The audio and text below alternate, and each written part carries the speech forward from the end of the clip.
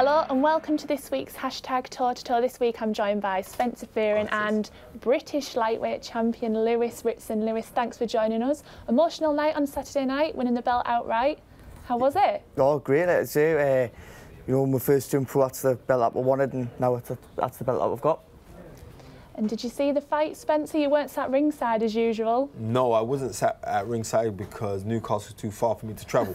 but the people are really nice. I swear down there, really nice people. Don't get twisted now. I don't want your dad coming for me. But I'm seriously for a young man to to show that that depth and aptitude the way how you, you like showed like it was like a disrespect and even though you're showing respect but it was like a disrespect like nobody's done that to, to Hyland Hyland's unbeaten in 18 fights and you just walk through him like you're not in my league. And that's what you're meant to do. And you you you did. You, you brushed him and that's no that's no disrespect to Hyland because I believe that can come again but this game's all about levels and you are on a on a on another level. But you know how the game goes new levels new devils so that means that you got to train like a devil you yeah. got to still be on it all right? You still got to be on it but no. very very good class act class loads of tweets to get through so we'll get started Dan Frost Firstly, congratulations, congratulations, Lewis, on your quick and ridiculous, impressive Lonsdale achievement. You obviously have a very fan-friendly style. Was there any fight in particular you watched coming up that inspired you to become the type of fighter you are today?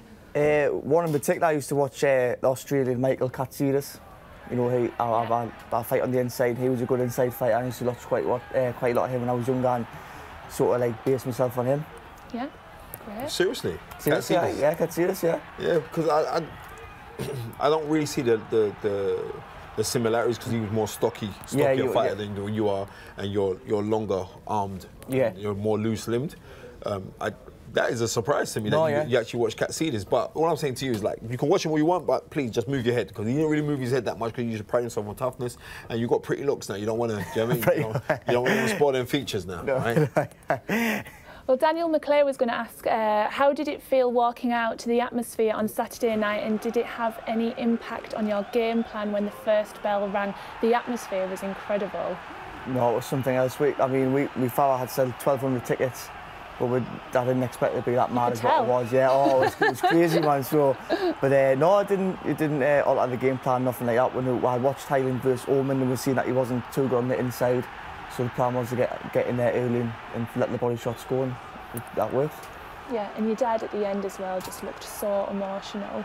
No, yeah, I think well, well I say I had said I had win that belt for him, and if I won it, I'd be on his mantelpiece. So I think it was a bit emotional for him. But and you brought it with us today. Well, we with it yeah. They've told bring it to a lovely belt. Well, Babs has tweeted in, last year you spoke about almost walking away from the sport due to a lack of opportunities. What advice would you give so fighters in similar situations who have the talent yet struggle to get the attention of the promoters and broadcasters? If you could give any advice. Just never give up, just stay in the gym. Just stay in the gym and just train because that phone call will always go. Happen with us with the Barrett. The phone call will just come and uh, you've got to be ready for it and we were. And what about the job you turned down as well? Oh yeah, well I had applied for a few factory works and uh, factory jobs and I got offered a job at a bleach factory, packing bleach. But uh, Lee didn't actually get back to us. I didn't turn it down. Lee didn't get back to us. So good job as well. I wouldn't be here today. I'll be in, that, uh, in the factory now, but a blessing in disguise. Uh, well, Matt has also tweeted in, what is the aim next? European title or are you aiming above that already? Spencer, where do you think he should go next? Well, you know what? Tommy Coyle, that's the fight. Do you know what I mean? Here's Tommy Coyle is a champion, he's a Commonwealth champ. That is the fight that I would want to see because um, Tommy Coyle has seemed rejuvenated now. Now he's come back down in weight um, and uh, that matchup, and not only that, but will Matchroom, Matchroom not play around with matching. Literally, Matchroom, they match you properly. Like, like a fight like this, and I think especially like where you are positioned in your career and the things that Tommy wants to go and do because they're, they're muting about, all right, and you could be a future world champion. That's the talk right now, mm -hmm. right? So there's a lot of pressure. Tommy's still got aspirations of doing that. So Tommy should be mixing with these guys because then Tommy is a warrior. Don't get twisted with Tommy Coyle. He's a warrior. Got a very, very good camp with Jamie with Jamie Moore as well. So that is a fight that I would love to see, like, especially Jamie Moore's very well versed and knowledgeable man on the on the fight game, as so your father. So to see those two great minds working against each other as well can only be a great great fight. And he was there on Saturday night as well, Tommy. Spying, he was spying. He was eye on you yeah. as well. Well, if that's, that, if that's a fight anyone's to give, then we, we'll take it. You know, I, I would snap, snap his hand off at that. I'll be very confident in taking and uh, very confident in beating Tommy. But he's a good fighter, and don't get us wrong, he's got a bit popping his, popping his punches as well. So, be fireworks. Who else would you like to face?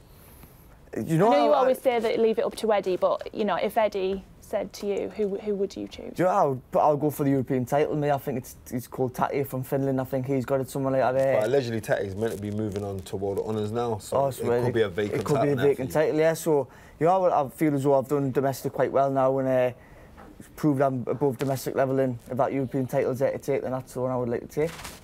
Well, this is an interesting. Speaking of domestic level, uh, Thomas Lyons has asked, would you target another domestic dust-up with either of these three, Crolla, Campbell, Burns, or have you set your sights on European title? So we're going back to Crolla, Campbell, and Burns. Do you know what I, I, I would fight? I, personally, I, I, uh, when I first started my career, I was up Scotland and I used to have been in the same camp as Burns, and uh, I used to see him as a bit of a role model. And you know, personally, I wouldn't really like to fight Burnsy because I think as well, you know, he's had his time now. He might be a little bit on his way down. I wouldn't really want to be the because I'm confident I could beat any one of them. I wouldn't really want to be the one that knocks him knocks him off and have to retire. You know, like yeah. not saying that in a nasty way. So. I mean, I, Campbell, Crolla, I would fight them in a heartbeat. You know, Burns, if that's what I had to do, I would. But I would like to stay away from that one. But that's a very honest. Seriously, I, I rate that. You got rate. You got to be commended for that because me personally, I don't. If you're a rival to me, then then come out my division. And that's what I would say. But and I like that. Um, I don't think him fighting Ricky Burns. Then it, it will be seeming no disrespect to Ricky Burns, but it would seem like well they're gonna get a last payday before you call it quits. Um, Campbell's is still in World Honor League right now. Um, so so is Crolla. Um, but a great fight stylistically would be you yourself versus Crolla because Crolla is tough, can hold shots as well, and and can rally. So that like for your learning, I would say like you and Anthony Crolla, right now that'd be a great yeah. fight.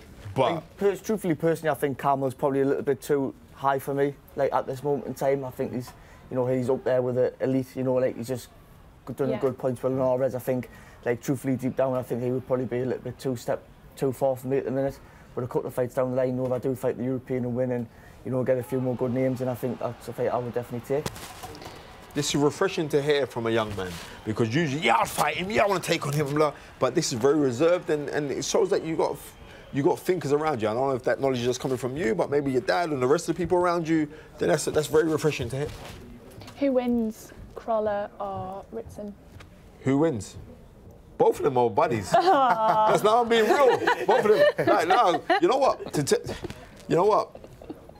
On the performance that you put on, then I think that you could you could be the edge favourite. But whereas Crolla has proven himself at world class, especially his fight against Perez, where people thought he was going to get knocked out in that fight, and he just dealt with him. Yeah. And there's no shame in losing to Linares because Linares is a fantastic fighter, and as we saw, Linares knocked down Lomachenko. So it's a, it's a very, very tough one.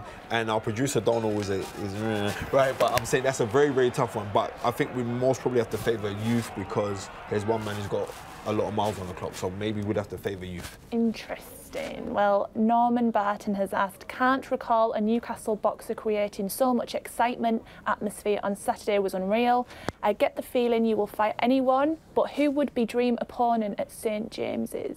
Late May 2020 for a world title? Who from Newcastle United would walk in with you? Hold on.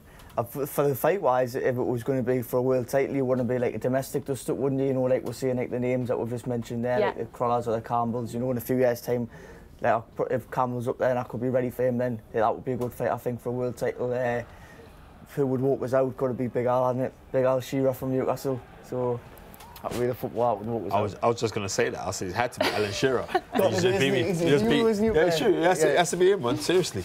And huge dream as well to fight at St James's. Yeah, massive dream, but you know, we're, we're miles and miles off that yet. Like, you know, we're, we've just passed domestic level. I think, like, if we could get a world title fight, I mean, Tony Bellew done it Goodison Park, so there's no yeah. reason that we couldn't do it, but we're a long, long way off that yet. But, you know, that is the dream, and hopefully we can get there. Yeah.